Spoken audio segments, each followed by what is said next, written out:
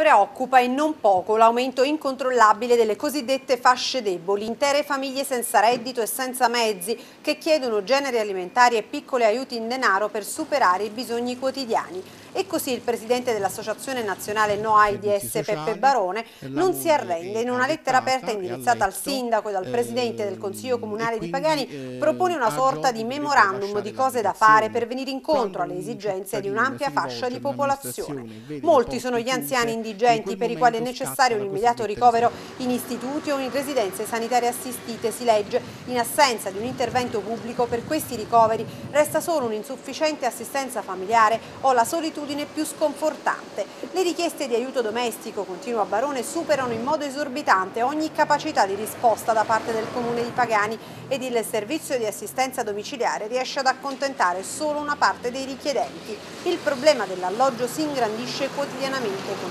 centinaia di famiglie che bussano alla porta del Comune per cercare di avere una casa popolare o un tetto qualsiasi sotto il quale ricoverarsi. Unita alla carenza di lavoro costituisce questo una miscela esplosiva nella quale si consumano i drammi quotidiani di molte famiglie. È per questo motivo che si propone all'amministrazione comunale di potenziare l'attività di assistenza dei servizi sociali scegliendo il metodo della prestazione diretta dei servizi e utilizzando le disponibilità delle associazioni di volontariato e delle parrocchie per monitorare il territorio ed intervenire sui casi più urgenti. Avviare subito, dopo l'approvazione del bilancio, i servizi civici per consentire ai cittadini con disagio di svolgere piccole attività sociali e ricevere una contribuzione corrispondente.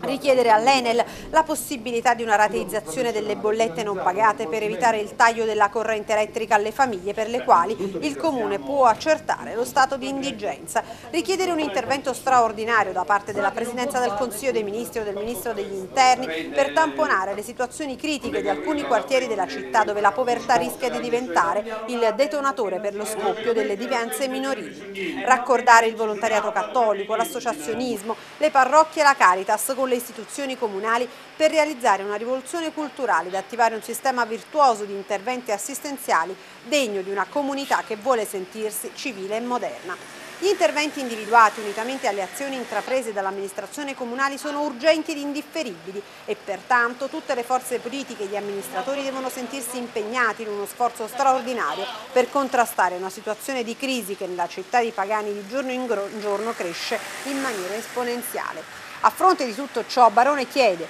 al Presidente del Consiglio Comunale la convocazione di un'apposita seduta di Consiglio Comunale sui temi della povertà, chiedendo la partecipazione degli organismi di volontariato che oggi rappresentano l'impegno più generoso e avanzato nella ricerca del sollievo dell'indigenza. si rivolge ad un'amministrazione e vede le porte chiuse, in quel momento scatta la cosiddetta